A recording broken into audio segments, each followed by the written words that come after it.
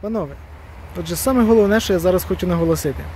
Я нікого не збираюсь вчити. Це мій особистий досвід для того, щоб е, можна було для других людей ним скористатися.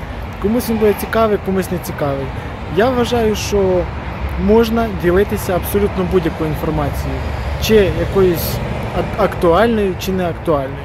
У моєму випадку, я думаю, інформація доволі актуальна.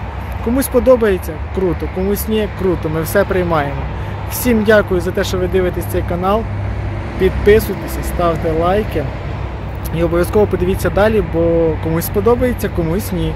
Нікого не вчу, ділюся своєю інформацією. І всім на все добре. Ну що, шановні друзі, всім гарного часу доби, бо не знаю, чи вечір у вас чи день. Отже, хочу вам сьогодні показати коротеньке відео про те, як таки ж правильно утепляти бджіл взиму. Дуже по-різному роблять, дуже багато є думок. Сьогодні я цю версію доповню або розвію черговий із міфів. Отже, дивимося. Друзі, що ж я зробив? Зробив я дуже просто. Взяв от такі шерстяні одіяла. Дідівський метод ще, але він дуже ефективний. Чого? Бо це натуральна шерсть. Основна задача натуральної шерсті пропускати вологу. І ця методика дуже круто працює, бо в теперішні зими, коли різкі перепади температури, шерсть вона допомагає нам скоротити кількість вуглекислого газу, опарів, які виділяє сім'я в процесі життєдіяльності. Тобто вона працює як бар'єр між бджолиною сім'єю і зовнішнім середовищем. Отже, дивимося, як це роблю я. Отже, друзі, що я роблю? Приходжу на пасіку, знімаю кришку, дивлюсь. Цей холстик, він весь сезон знаходиться так. Наша задача його вниз опустити. Потрібно холстик поміняти, якщо він сильно запрополісований. Якщо ні, його міняти не обов'язково, але якщо не сильно запрополісований. Бо е, прополіс також має вентиляційний ефект. Потім ці пледи ми їх нарізаємо, складаємо вдвоє і, і застеляємо сім'ю, вкриваємо. Вкриваємо її.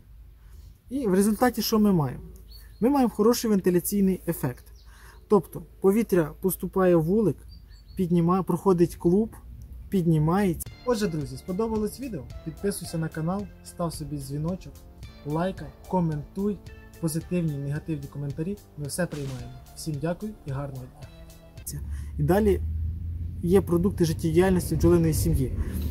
І звідси виходить повітря через цей плед, бо він дуже добре дихає, адже це вовна, це натуральна вовна.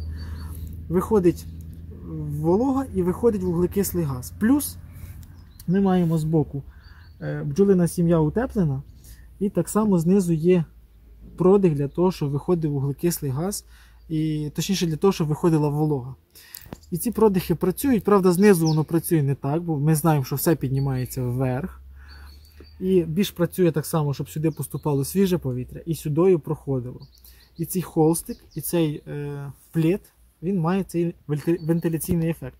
Тобто ми не маємо такої проблеми, що там накопичується десь волога, що потім бджоли мокрі, в результаті вони замерзають, в результаті якісь хвороби, нозематоз.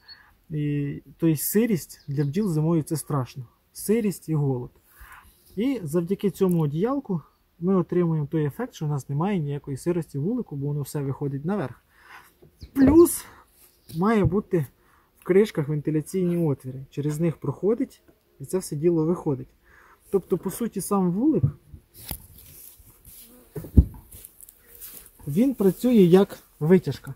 Сюдою е, поступає е, повітря, далі воно проходить попід рамками і піднімається помаленьку вверх. Ясне діло, якесь тут підніметься, якесь далі підніметься.